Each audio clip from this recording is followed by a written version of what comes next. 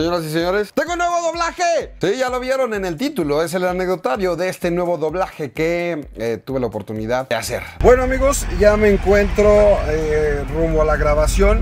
A que ni adivinan qué voy a grabar. Ya lo vieron en el título, ya lo vieron en mi ropa, ya lo vieron en mi reloj y ya lo vieron en mis tenis. Pues soy súper teto para que me dé muy buena suerte el Spider-Verso. Miren nada más. Los Air Jordan 1 de Miles Morales. Por si necesito verla ahora, a ver si me estoy tardando mucho o poco o qué. Ahí está también. Este, el punto es que sí.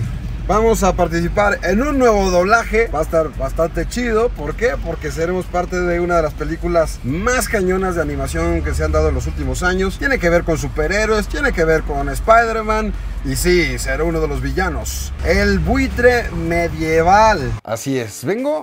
van a estar viendo ustedes las, imágenes de un poquito eh, el, el previo y la cabina y un poquito este, algunos promos que grabé. Supongo que voy a grabar más, pero quería grabarles luego, luego este anecdotario. Quería platicarles luego, luego mi experiencia, cómo la viví hace unas cuantas horas. Todavía vengo hypeado, todavía vengo muy emocionado y tengo todo fresquecito para platicarles, por lo menos hasta este momento, cómo fue mi experiencia de hacer un nuevo personaje en doblaje. Mira molto bene el fuego griego que traigo en la mia mochila. Así es, lo vieron en la miniatura y lo están viendo en mi camiseta. A través del Spider-Verse, Spider-Man a través del Spider-Verse. Es la película que esperemos que la rompa este año, porque sí, la primera parte estuvo brutal. Ganó el Oscar, así de sencillo. Ganó el Oscar como mejor película animada, ganándole a todos los estudios de animación que por años obviamente se habían caracterizado por dominar esta categoría. Y ahora viene la segunda parte explorando todas las versiones posibles de Spider-Man. Está brutal. No he visto la película. Eh, si no lo saben, les platico, ya lo he comentado en otras ocasiones. Cuando tú haces el doblaje de una película, solamente ves las partes que tú doblas, no ves toda la película. Inclusive cuando estás doblando algunas partes, algunas escenas que tú doblas, hay veces que no está terminada la animación o que te tapan el resto de las cosas que están sucediendo en el cuadro y nada más te dejan como la parte de la boca de tu personaje. En esta ocasión no fue tan extremo la censura o, o el, bloquear lo que estaba sucediendo a mi alrededor, pero es un hecho que solamente estuve viendo las escenas que me tocó hacer en el doblaje y mi personaje es el buitre. Específicamente el buitre medieval. ¿Qué? ¿Cuál es ese? Eso es parte de lo que me gusta tanto de, esta experiencia, que es un personaje nunca antes visto en el mundo este, de animación, en el cine. Hemos visto al buitre, obviamente, lo hemos visto eh, interpretado por Michael Keaton, lo hemos visto hasta en versiones de Lego, lo hemos visto en cualquier cantidad de series animadas, pero esta versión del buitre medieval no se había visto. Es algo muy chido. Como lo dice su nombre, es un, un buitre que, que tiene como este rollo como del medievo y que específicamente vive en un multiverso en la Toscana, sí, en la Toscana, donde, en Italia, donde creció Leonardo da Vinci y donde obviamente se le ve pues este tipo de cosas, ¿no? Lo hemos visto a través de los funcos que están vendiendo de algunas imágenes que han liberado. Tiene este estilo renacentista, porque sí, como lo han visto en las películas de, de Spider-Verse y en los trailers, en las escenas que han salido últimamente, se combinan animaciones, no solamente se casan con un solo estilo de animación, sino a la hora de explorar diferentes universos, se muestran los personajes y esos universos con el tipo de animación que corresponde a cada universo. Y de repente a la hora de combinarse los universos o los personajes invadiendo otros mundos, no importa que no tengan el mismo estilo de animación. ¿Por qué? Pues porque obviamente así son ellos. Entonces cuando llegan acá no es como que se transformen, sino conservan el tipo de animación y el tipo de, textura o de estilo que tienen en su universo eh, original. Y aquí por eso lo han visto en algunas imágenes así como color sepia y con unos trazos así, no sé, como de estos planos antiguos, obviamente al estilo de Da Vinci, no sé si han visto eh, estos, estos como bocetos o estos diseños que había hecho en algún momento de tantas máquinas que hizo, pero que son como trazos muy definidos, muy, eh, ¿cómo, puedo, cómo puedo decirlo así? Como muy radicales, muy bien marcados, no sé, el, el estilo de animación, eso es parte de la, de la magia que tiene esta película. Se atreve a mostrarte personajes que no habías visto con estilos que no habías visto. Y a mí me tocó uno de los estilos más chidos, según yo. En este momento yo creo que ya deben de saber quiénes están en el, en el doblaje. Obviamente Emilio Treviño es el protagonista, eh, es el que ha hecho a Miles Morales en los últimos eh, años y es un es buen amigo mío y pues bueno, ¿qué, qué puedo decir acerca de su trabajo? Es un chingón, me cae poca madre y ahora repite, eh, obviamente, y sabía, me habían dicho en su momento, que, pues como iba a ser el récord de apariciones de Spider-Man en la historia, vino al caso que tuvieran cameos en la parte de las voces un chingo de gente de Latinoamérica en general, poniéndole la voz al personaje. No importa si habla una palabra, dos palabras, una línea, el punto es que aparecen todos estos que estás viendo en tu pantalla. Está brutal lo que hicieron, el trabajo que hizo Sony a la hora de invitar a todos ellos. Estuvo increíble. Y ya de los que tenemos Funko, como se los dije, está obviamente Emilio Treviño. Y hasta ahorita lo que sé, por ejemplo, en los villanos eh, somos Javier Ibarreche y un servidor. Javier Ibarreche va a ser a Spot y yo hago al buitre. Y bueno, no he visto todavía el trabajo de los demás eh, terminado, he visto muy poquitas cosas, pero creo que va a ser algo, algo bastante, bastante chido. Ya muero por saber todos los detalles. Aquí se trata de platicarles un poquito mi eh, experiencia directamente en el doblaje. Me mandaron una descripción. No muchas veces sucede esto. Primero me pidieron, o sea, cada estudio tiene diferentes procesos. El estudio de doblaje de Sony fue muy hermético con la información. Todo el tiempo estuvieron cuidándola para que no se diera a conocer más allá de las personas involucradas. Y a la hora de proponerme el personaje, me mandaron, ya después de que les firmamos una cosa que es como de, no revelar ninguna información antes de tiempo, me mandan una descripción de personaje. Por aquí lo tengo. Y lo empiezo a leer y veo, o sea, cuando me dijeron que es el buitre, dije, ah, pues está chido. Pero cuando empiezo a ver que es un buitre muy distinto a lo que habíamos visto anteriormente, simplemente por la imagen que me mandaron, dije, órale, está, está bueno.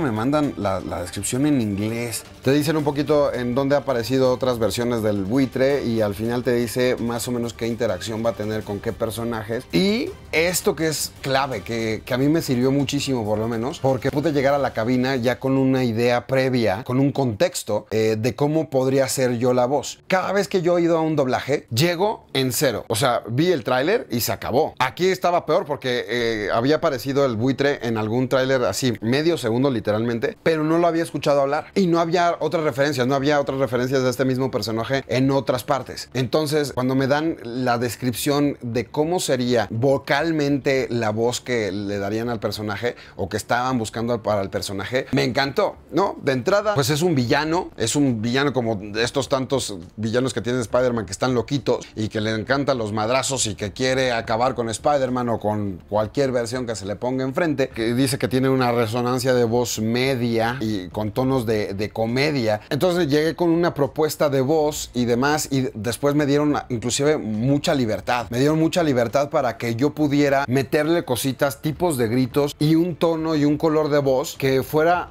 mucho más reconocible. Obviamente todos los doblajes que haces, ya se los he comentado en otras ocasiones, no es lo mismo hacer voces que hacer doblaje. Hay personas que pueden hacer voces, o sea, pueden modular su tipo de voz para que cambie ¿no? Si quieren hacer un viejito, si quieren hacer un pequeño, tú lo vas cambiando, ¿no? O si quieres hacer un superhéroe, lo que sea. El punto es que puedes hacer diferentes voces, pero eso no quiere decir que puedas hacer doblaje. El doblaje es una técnica que se usa de la actuación, es una especialidad de la actuación, con una técnica muy específica para ponerle la voz en sincronía con la boca que está hablando el personaje. Entonces, tienes que saber actuar, tienes que interpretar las líneas que dice el guion para poner ahí el diálogo en pantalla y que quede bien y además debe corresponder al personaje. Entonces empecé a escuchar cómo era eh, la versión en inglés y de repente me dicen eso, ¿no? Me dicen, oye, no queremos que haya tanta variación en tu tono, en tu color de voz, con lo que haces normalmente, con lo que quede en la pantalla, para que la gente pues te ubique y te reconozca. Es lo que queremos en esta ocasión. Entonces dije, órale, va. Una de las técnicas que tengo para hacer personajes y sobre todo en este rollo de villanía, pues es echar la, la voz a la garganta y hacerla así.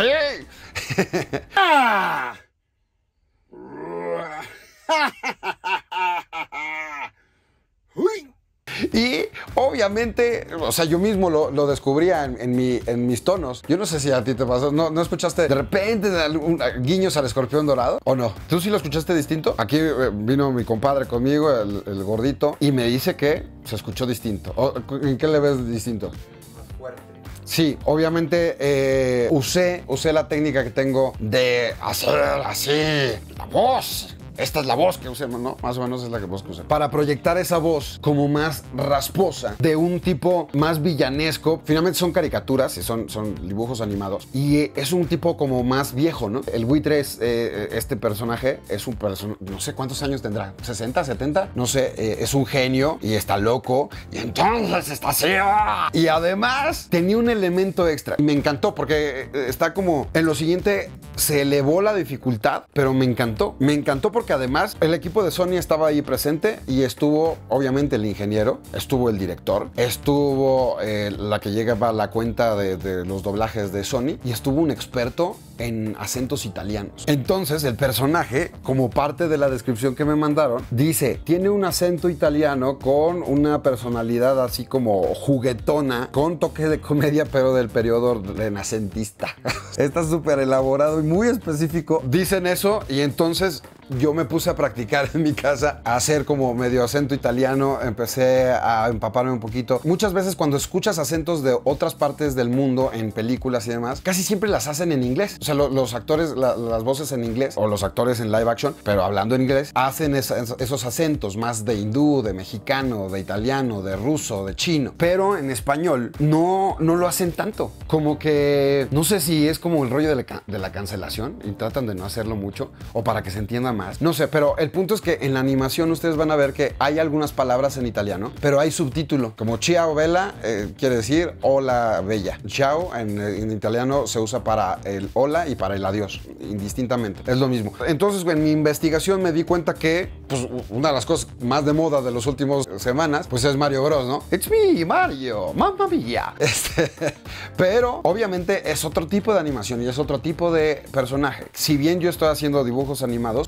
es mucho más infantil, Mario Bros. Y este es un villano. Y entonces me empezó a explicar el de los acentos, qué tipo de acento tenía que hacer y cuál era la diferencia entre hacer un acento mucho más cantado que otro mucho más sutil, entre pronunciar la doble Z como una T marcada y una Ts, así como barrida. Es- son cosas como muy específicas, pero son cosas que ustedes no se enteran. Y, y de hecho, o sea, te, te quitan celulares, te quitan todo esto, pero yo se los platico. Ahí estaba el cuate experto en acentos brutalmente concentrado en que yo hiciera las cosas bien, ¿no? De que yo pronunciara perfectamente las palabras que iban en italiano o que le diera el acento italianesco en las palabras que son en español. Entonces, no es chao, chao es muy latinizado. Eh, Ciao, ciao bella ragazzo. No es el mismo tono que usa un italiano del norte que del sur para la hora de usar la doble Z y decir ragazza, ragazza, ragazza. ¿Me explico? Son cositas muy, muy sutiles que este,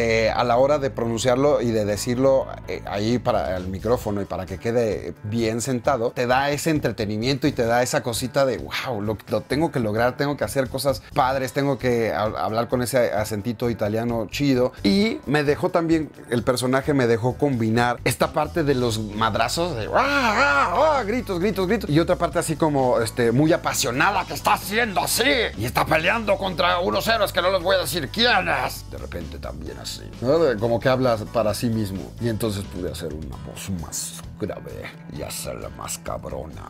Y entonces, puta, güey, o sea, Ciao ragazza. Ah! Es padre que te toquen personajes que tú puedas meterle cositas variantes para que no sea totalmente flat. Y obviamente no es lo mismo personaje cuando está amenazando a alguien que cuando está peleando, que cuando piensa en voz alta para sí mismo, valga la expresión. Está haciendo como ese tipo de reflexiones y, este, y demás. Eh, Entonces está bien chido esta parte de la cabina que viví. Yo siempre que me presento a una cabina, lo primero que me preguntan es si ya he hecho doblaje. Los que no me conocen tanto, les digo que sí para, para que exista una referencia de que me puedan hablar con idioma eh, de doblaje, ¿no? Porque pues, eso estudié. Para los que no conozcan mucho de mi carrera como actor de doblaje, hay muchísimos anecdotarios donde he, platicado desde cuando estudié actuación de doblaje y todo esto. Mi primer curso fue por ahí del 99. Digamos que ya me especialicé más ahí por el 2002, 2003. Y bueno, ya han visto todos los personajes. Si no lo han visto, miren, aquí está.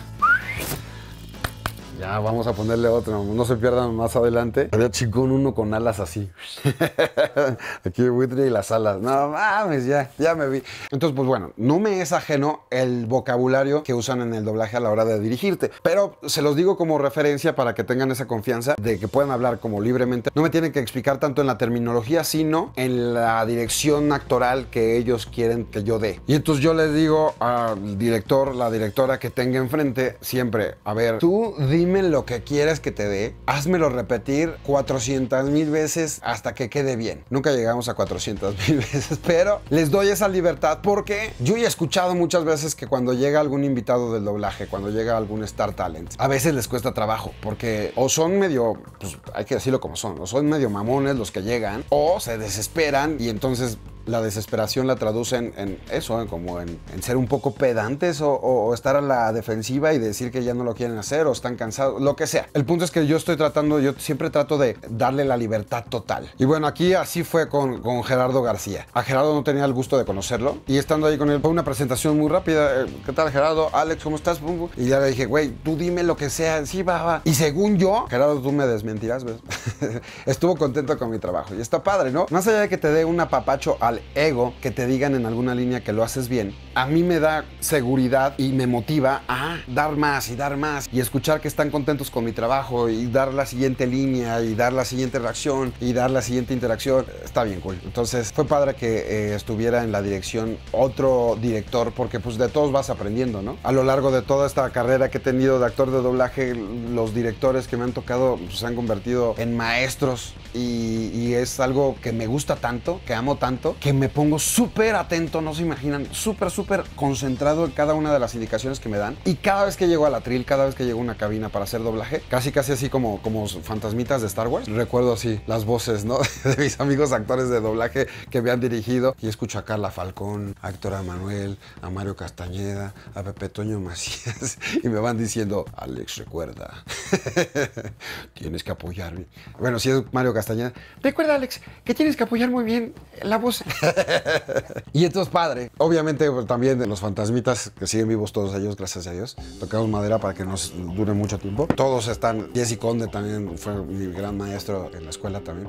Y entonces, pues bueno, a todos los voy recordando y en esta ocasión pues ya. Tuve otra experiencia eh, con otro director que, como se les decía, qué chido que me toca alguien distinto porque pues de todos aprendes algo nuevo. Pero bueno, estuvo padre que, que lo lográramos y que se armara algo chido. Como se los dije, todo era súper hermético. Pero bueno, ahí de Star Talents vamos Ibarreche y su servilleta. Ya platicaré con Javier porque no, no lo he visto, no lo he visto. Y seguramente nos vamos a topar en la premiere y en las actividades o como se los dije. Estoy grabando en pasado, ¿no? Estoy grabando como un mes antes de que se estrene, entonces seguramente para este momento ya platiqué con varios de los involucrados. Y está cool que este, muchos de, de mis amigos y otros que no conozco, pero que seguramente Spider-Man forma parte de su vida. En algún momento lo descubrieron, en algún momento se identificaron, en algún momento tuvieron una máscara con ustedes o, o algún videojuego o alguna este, caricatura animada que, que ustedes hayan sido fan. Qué padre que ahora sean parte de las voces, ¿no? Me va a encantar poder platicar con muchos de ellos en este multiverso también de la gente que somos fan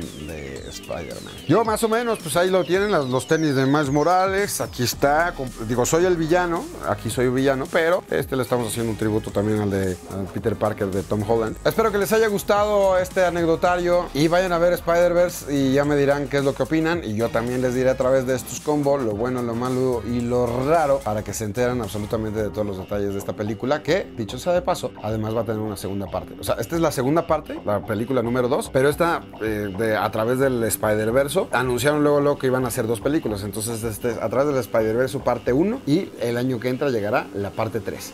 Ahí le pongo la fecha exactamente. Llegará la segunda parte de esta película que van a estar viendo a partir de este fin de semana en todo el planeta entero. Yo soy Alex Montiel. Suscríbanse, compartan este video, pónganle like y nos vemos en el cine. Y en el Spider-Verse también.